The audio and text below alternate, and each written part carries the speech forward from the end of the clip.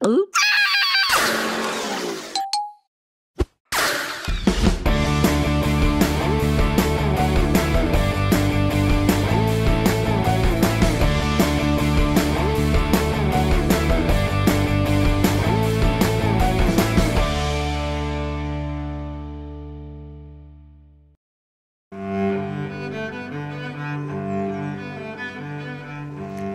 Hello guys, my name is Jessica. I'm a photographer at Broncolor and today we're having a very exciting shoot here at Bottmingen Castle in Basel with a beautiful model and a very good makeup artist. Our theme is 1920s. We've got the perfect location for it, that beautiful castle just over here.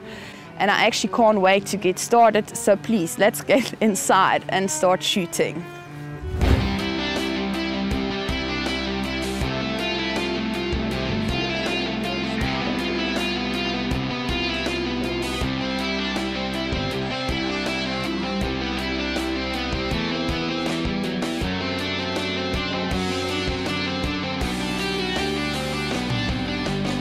The shoot was really pretty awesome. The location, like you see now with the red couches, the candles everywhere, gave a great atmosphere.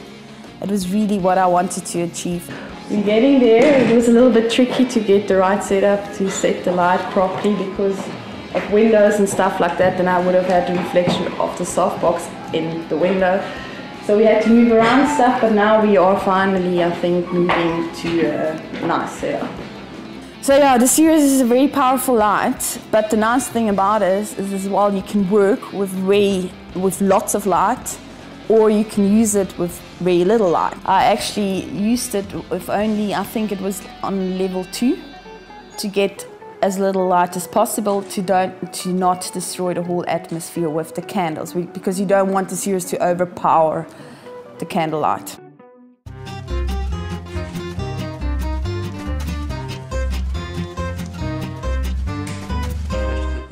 Um, I actually only used um, two Siros 400S, one with attached to a softbox and a grid, and the other light was for the hair light because the model's hair was very dark and you were, you were hardly able to see this, this, the hair styling. So it was important for us to actually use a hair light. That's the reason why I used two lights, otherwise I would have only used one.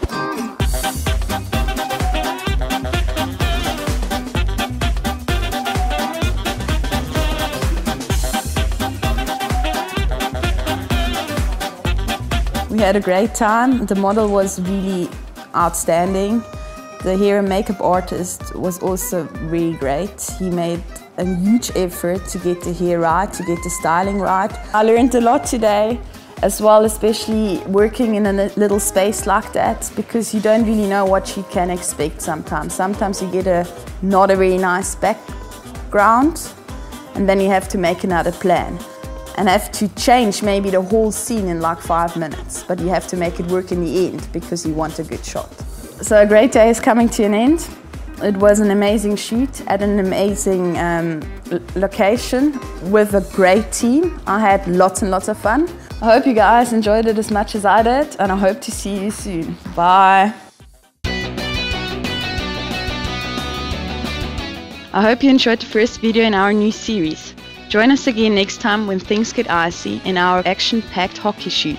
Don't forget to subscribe. You surely don't want to miss this.